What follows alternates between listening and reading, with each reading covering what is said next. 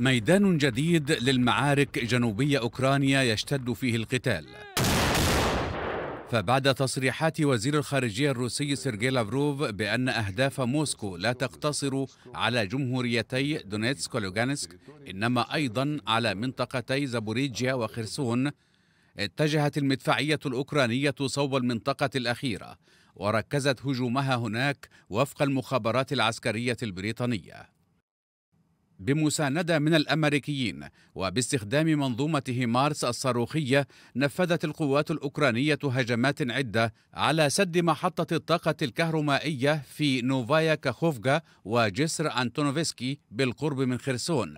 ما عرض الجسر لأضرار جسيمة وأدى لحظر حركة الشاحنات عليه وتوجيهها إلى نوفايا كاخوفكا كما كثف الجيش الأوكراني نيران المدفعية على طول نهر إنجوليتس أحد روافد نهر دينيبرو في الأثناء أعلنت وزارة الدفاع الروسية أن قواتها دمرت أربع راجمات صواريخ هيمارس أمريكية رغم النفي الأمريكي بهذا الخصوص.